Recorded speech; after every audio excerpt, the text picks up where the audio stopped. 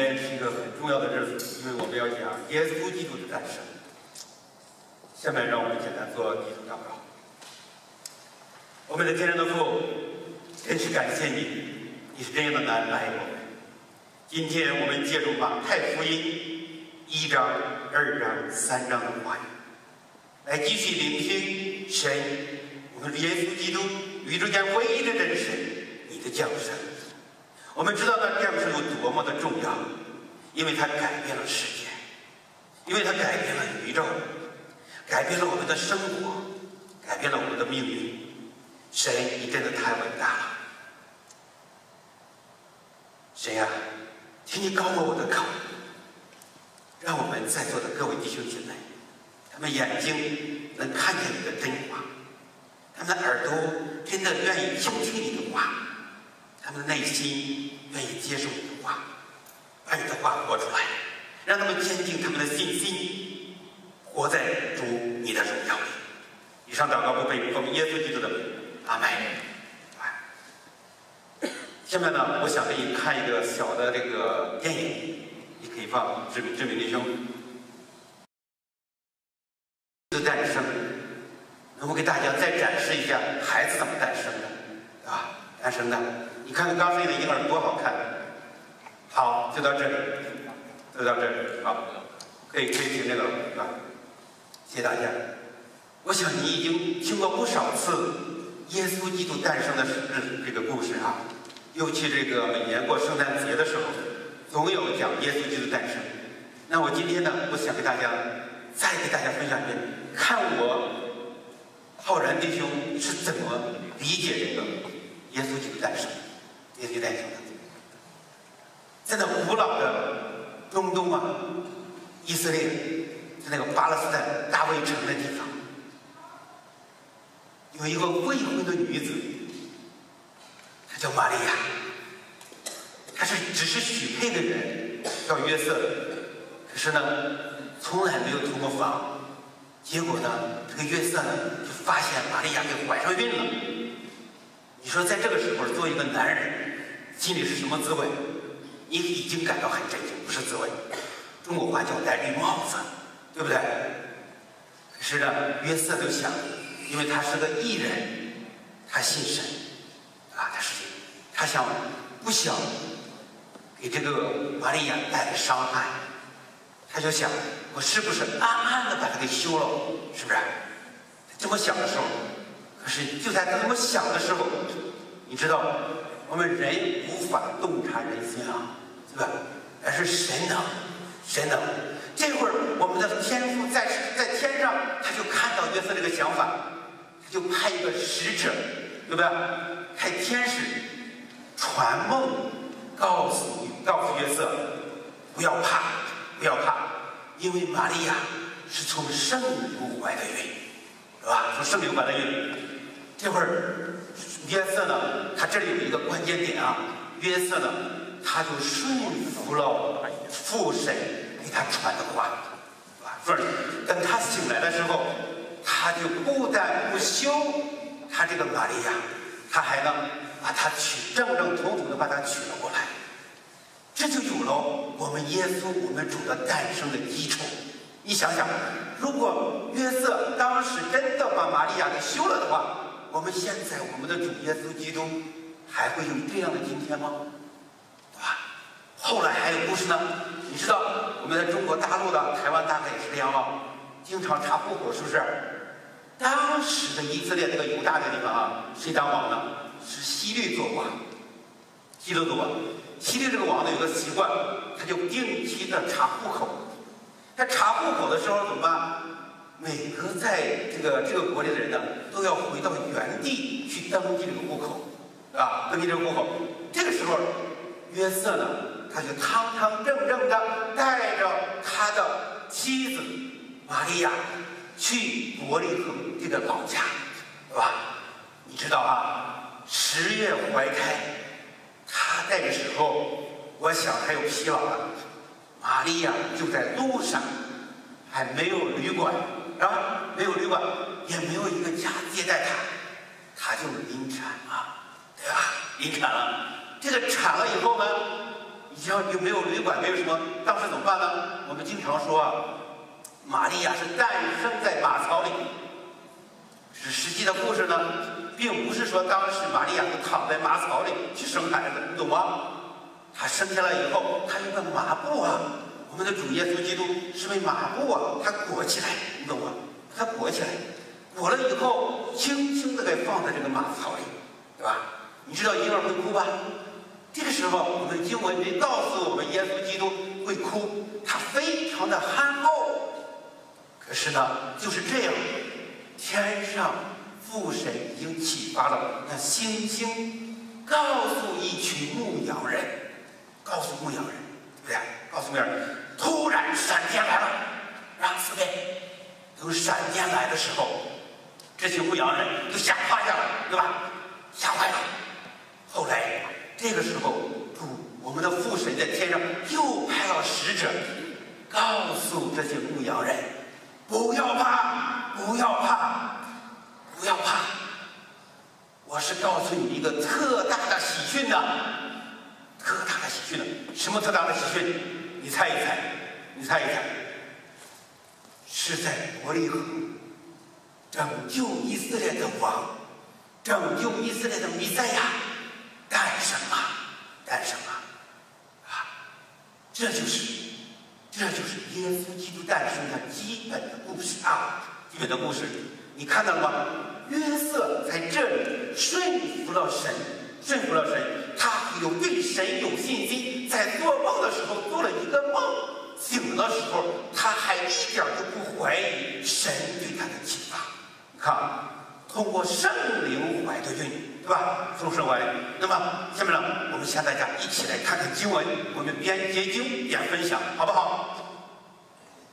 经文啊。你看，耶稣降生的事记在下面。他母亲玛利亚已经许配给约瑟，还没有迎娶，啊，还没有迎娶。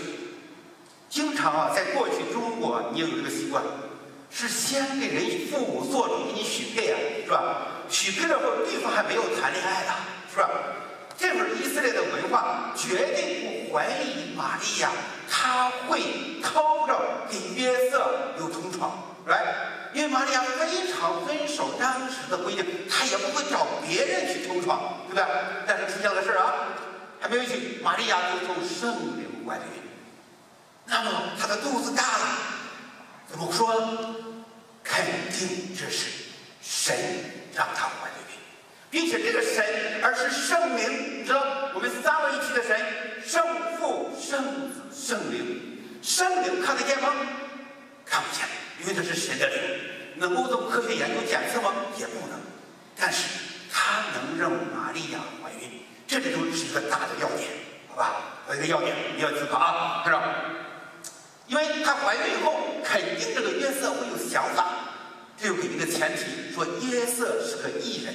我们前两天刚学了那个主日，那个呃，就是说，呃，小读啊，什么是称义，什么是异人啊？不愿意明明羞辱他，约瑟他是有有这个爱心的，他是有道的，他是因为信仰神，所以他不会羞辱他，是吧？可以说，是吧？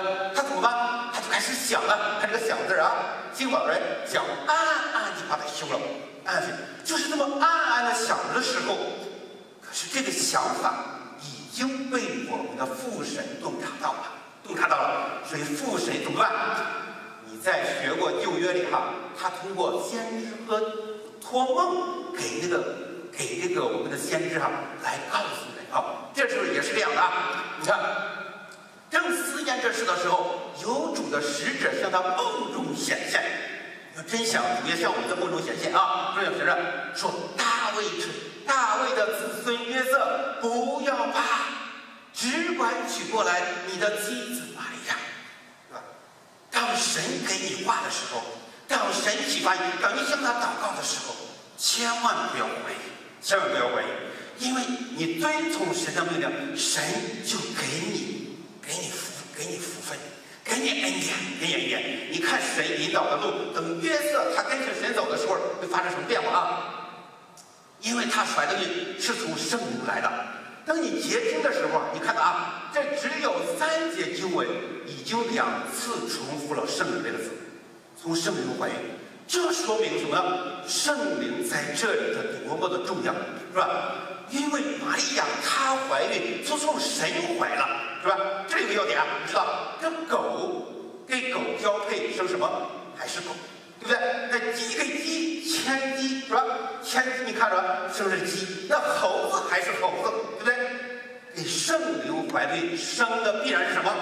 就是神，懂了？懂吗？这是这很关键要点啊，这结晶的啊。好，就是生的生的是谁？圣灵怀孕。对，他要生什么？他将要生一个儿子。这里不是生个女孩，看到了啊？生一个儿子，对吧？在生的是儿子，因为我们的主耶稣基督他就是男的，作为人啊，你要给他起名叫什么？耶稣，耶稣哎，我们经常说耶稣，日本人也说耶稣，right？英文叫 Jesus 啊，那个一会儿给你看到这画那个那个那个希希腊文，希腊文叫呃 Jesus，right？你看这个词，我们日文的翻译和中文的翻译很接近，它就叫耶稣，是吧？就叫耶稣，而那个希伯来文那个那个希伯来文叫耶和亚伟，对吧？耶稣这个名字就是救世的主，就是拯救以色列主，就是拯救全人的主，懂了吗？哎，说这就怎么样？对，往往前面走，对对。看啊，这是拯救出来的。为什么？这里做一个解释。为什么叫这个名字？因他将自己的百姓从罪里救出来。你知道，耶稣只是个婴儿哎，对不对？他不是希律王哎。这里经文告诉你，所有的以色列的百姓全是主耶稣，对吧？我们全地球上所有的人，外邦人、内邦人，不管哪里的人，全是耶稣基督的，懂吗？他是真正的王，他是真正的王，好吧？对吧？讲自己的事。一天之晚上，主持人，这一切，这是应验这个以赛亚书第七章第十四节，请给讲。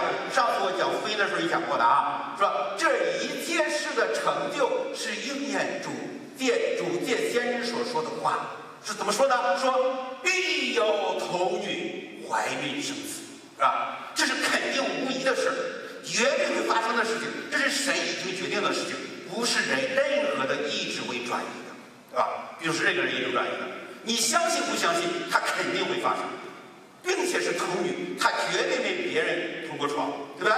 对吧？是，绝对没同过床，绝对没找过其他的人，是吧？我们的主，我们的主，我们的父，他圣灵是第一个让他受孕的，懂了吗？是吧？越会怀孕，生子，怀孕一定就会怀孕。人称的名为伊玛内利，与神同在，与神同在，与神同在啊！结果约瑟醒了起来，就遵照主的使者吩咐，把妻子娶过来。我想大家要提示着啊，你一定给我大家一起念这儿，就遵照主使者的吩咐，重复一下，一起念，就遵照主使者的吩咐，把妻子娶过来。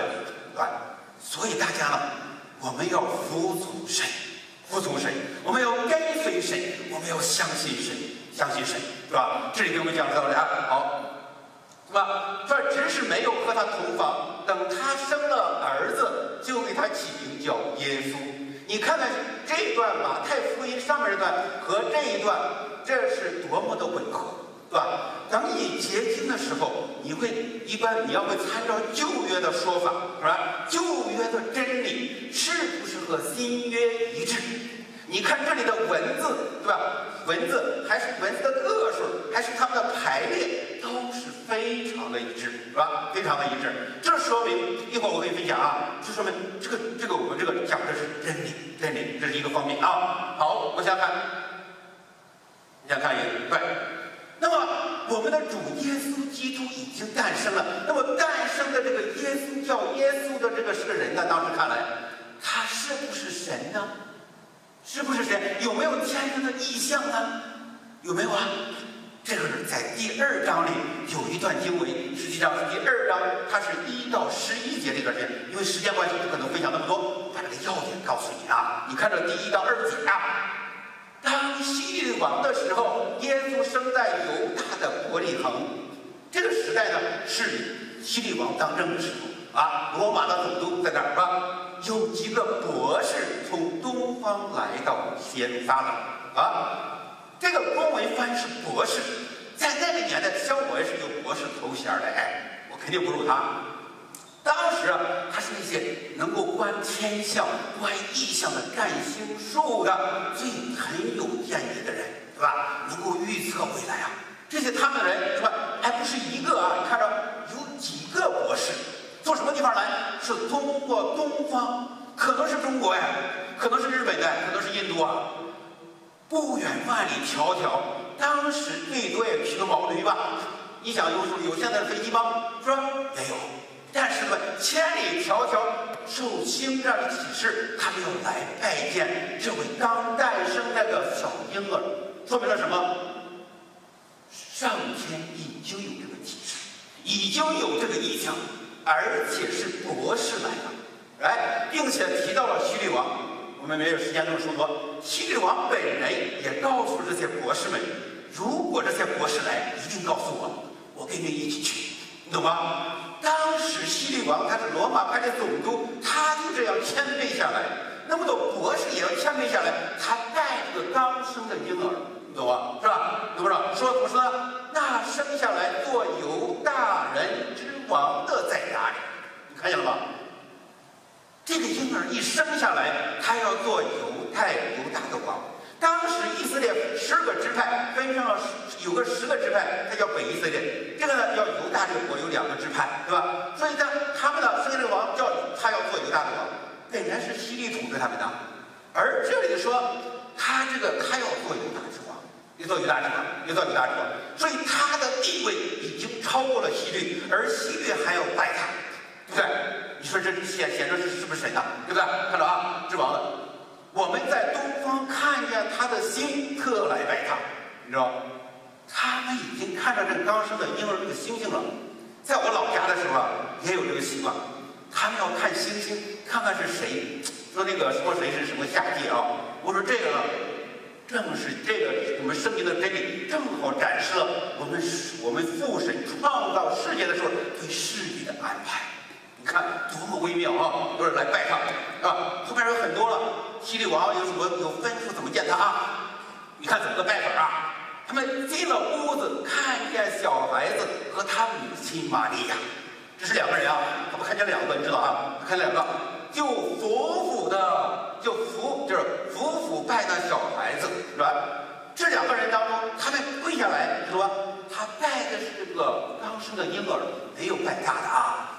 这就是我们改革我们的基督教和这个天主教一些差别。你看到了吧？经文在这里，他拜的是这个小婴儿来，你知道吗？对吧？这么个小孩子，你家生孩子谁能拜？我告诉我们家生孩子没几个人来，对不对？你看看耶稣感受，对不对？是吧？对不对？他怎么拜呢？拜的小孩子说揭开宝盒，是吧？宝盒，是吧？那拿什么呢？黄金、如香、莫要为礼物献他。什么意思呢？把最珍贵的、自己都舍不得用的东西来敬礼他们的神，对吧？来敬敬他，是吧？这是说，这是这一段说什么呢？这讲什么？当时耶稣基督他已经被当时的世人所敬拜，是敬拜。那么他已经这么诞生了，有这么多意象，然后呢，他又被世人这么膜拜，难道就是真神了吗？你看这个第三章啊，你看这个第三章，你看啊，《马太福音》第三章这个第三章十六到十七节是吧？耶稣受了洗，这个时候耶稣已经长大成人了啊，已经不是个 baby 了啊，受了洗，随即从水里上来，上来不得了了，你看着啊，天忽然为他打开，你懂吗？天啊，为耶稣这个婴儿打开了。在过去的以色列啊，他们认为下雨也是天打开以后把它哗啦下来了。那神呢就住在天上，他们以色列的人在地上。所以呢，这个时候他们说这个天啊为他打开了，专门为他打开了，重要不重要？好吧，你看啊，这个时候耶稣他看见什么了？看见神的灵啊，看见神的灵。刚诞生这个耶稣啊。我们这个是叫他说死以后啊，这个时候他能用眼睛看见父神的灵，你懂吗？是吧？我们能看见吗？老百姓看不见。我们这么多年在基督教里，我们也看不见。神能看见神，耶稣基督看见谁了，他看见神的灵了，对吧？他看见神的灵了，看了吗？他看见了，来，他看见神的灵，怎么办？这是仿佛鸽子降下落在他身上。你知道鸽子代表什么？和平，对吧？我小的时候玩鸽子，它喜欢你的时候真在你肩上爬，你懂吗？这么说，我们这个这个圣人啊，父神啊，特别喜欢耶稣，特别喜欢他，他真的爱他，对吧？后来一看啊，这个第十七节是个关键的经文啊，是吧？从天上有声音说：“这是我的爱子，这是我的爱子。”这是我的爱子啊！啊，从天上说，这是父神圣灵，他们在喊，是吧？这是我的爱子，父神在喊，是我的爱子，我所喜悦的。耶稣基督不仅是神的孩子，而且是神的这个 beloved son，是神的爱子，懂吗？是神的爱子。那后面来看，往爱就可以了吗？我们的父神说，我所喜悦的。我所喜悦的，我所喜悦的，说耶稣基督不仅是父神的儿子，而且父神他非常讨父神的喜悦，讨父神的喜悦，啊！通过这三段经文，我想你脑子里一定有一个比较清晰的耶稣基督的的诞生，它真是神的基本的，就是经文的解释，经文的解释，这是马太福音。当然，你可以在其他经文里也可以找到，找到一个，在以赛亚里边是吧？可以找到。那我今天呢？那我们就借助这段经文，那我跟你大家分享五点。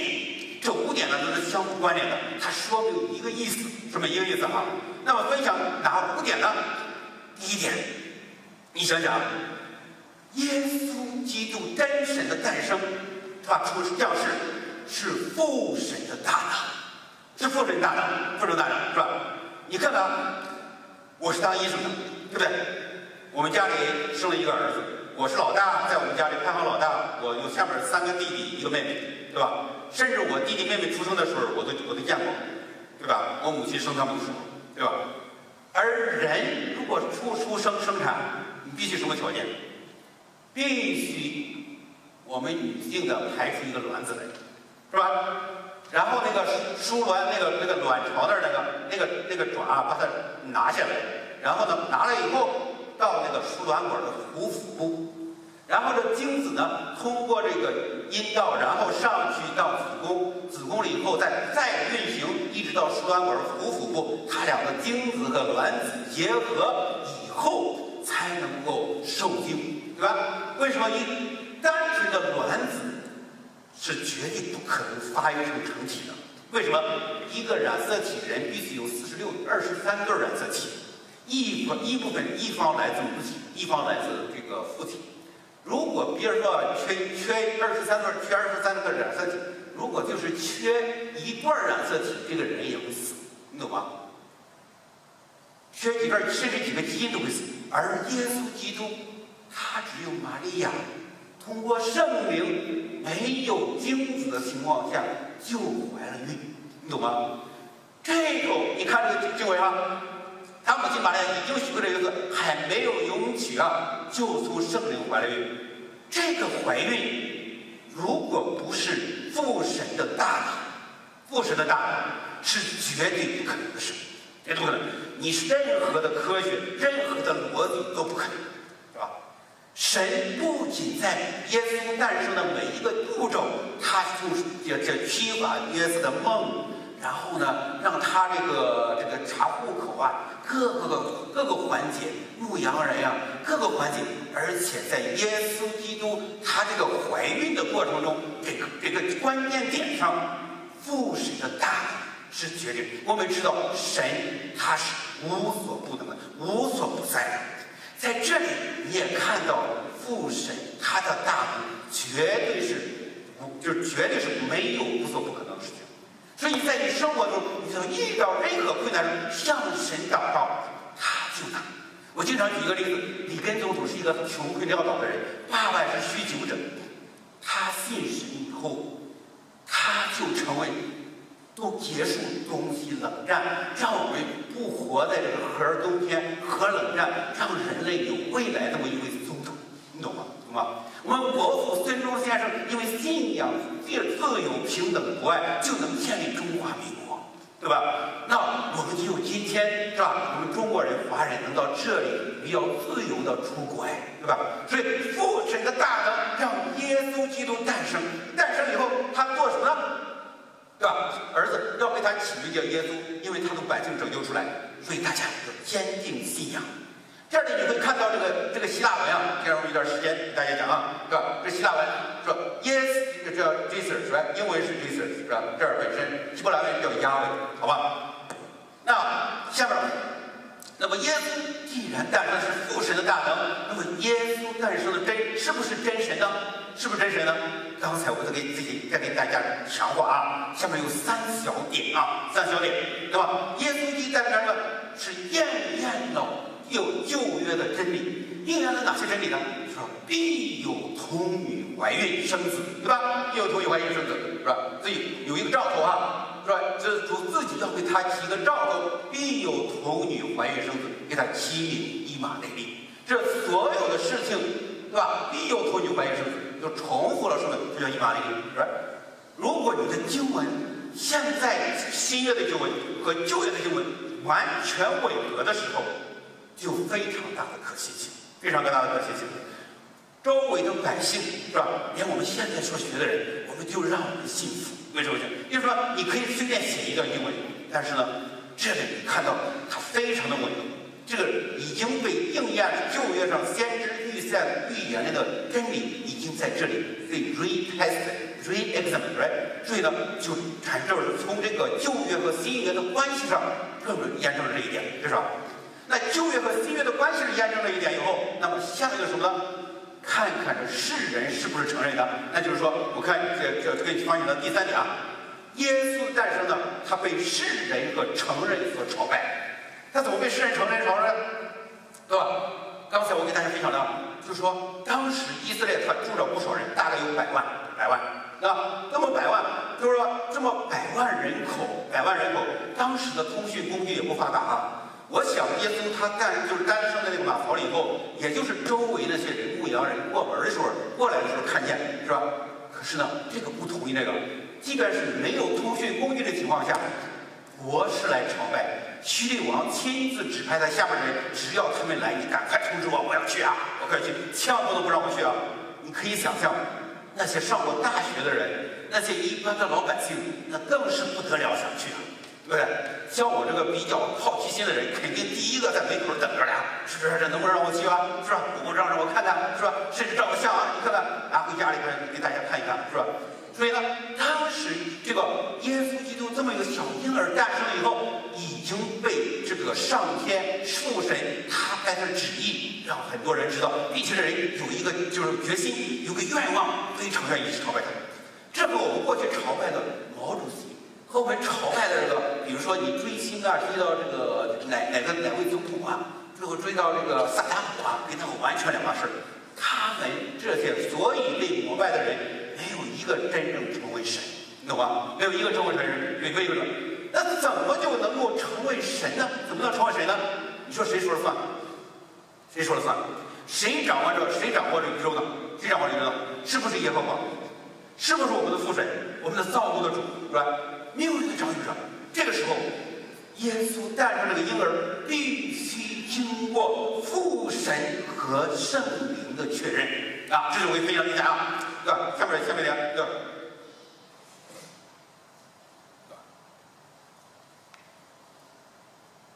这儿这儿掩盖了，没关系的啊。就是说呢，这个这儿耶稣他受了洗以后啊，随即从水里出来。忽然天文，他看见神的灵格的降下，落在他的身上，是吧？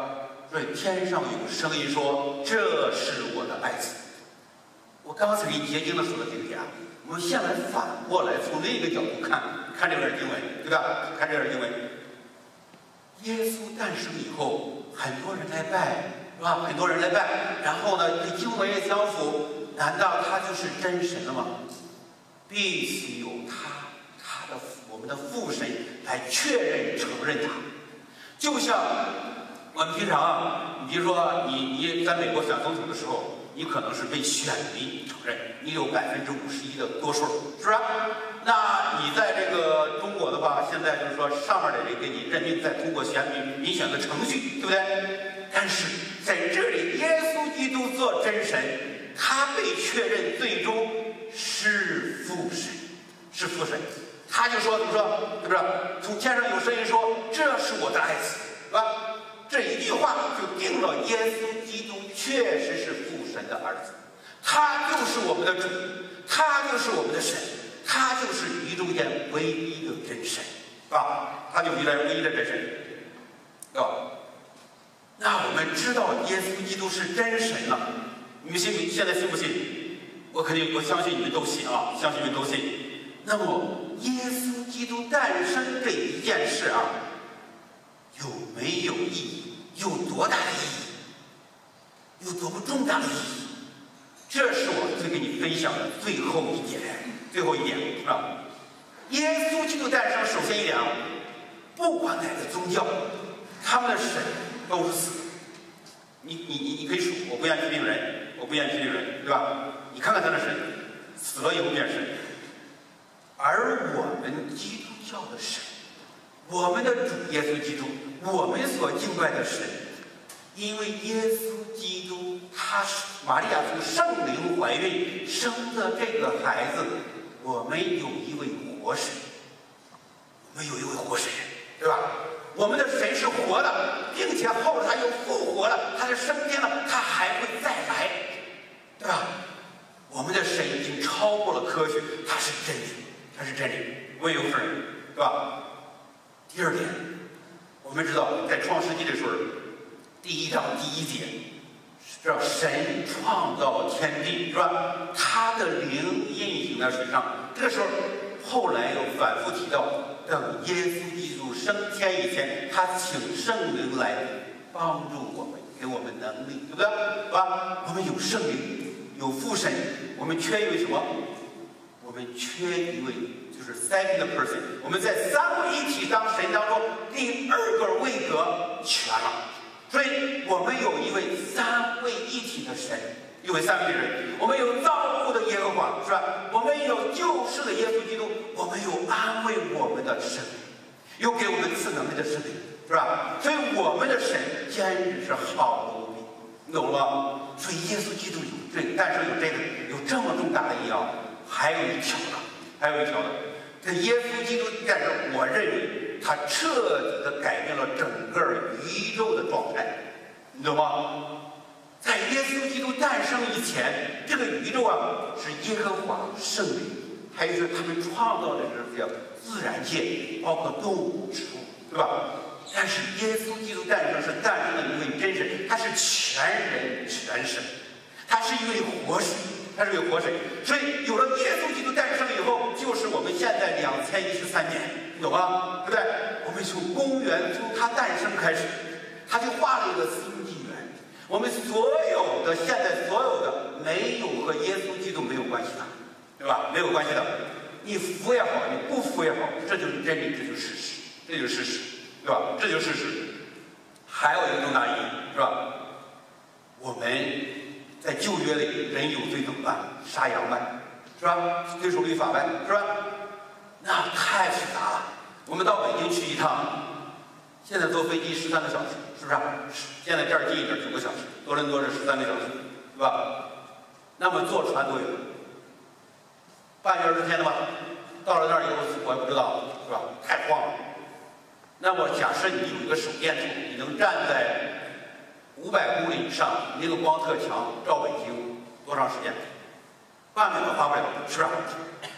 我们耶稣基督，他在十字架上为我们流血而死以后，他一次为我们所有全人类献了血，赎了罪。你只要信他，在一瞬间因信称义，你懂吗？你就会得救。所以耶稣基督诞生有这么重大的意义，是吧？耶稣基督诞生，我可以告诉你，数，没完没了。你可以数，太多太多了。各位兄弟姐妹。你知道耶稣基督是真神吗？你知道他是救赎主吗？我们有一个弟兄十几年，他信神以后，他就不知道耶稣基督是他是他的，耶稣基督是神的儿子。我今天告诉你，耶稣基督是实实在在神的儿子。让我们一起低头低头祷告。我们的天上的父，我们真的感谢你，我们的主耶稣基督，我们真的感谢你的诞生。你的诞生改变了世界，改变了全人类，改变了我们的命运。我们活在你的活在你当中，我们愿意顺从，我们愿意听你的话，我们愿意从你领受爱，我们愿意彼此相爱。请你保守我们在座的各位弟兄姊妹和他们的家人，保守我们，不管他们在我们这里不哪里，都是你的孩子，让他们身心健康，让他们得以康复。让他们读你的话的时候，一呢最好吃的都要孝敬，能活出你的生命来。以上祷告不被奉耶稣基督的名，阿门。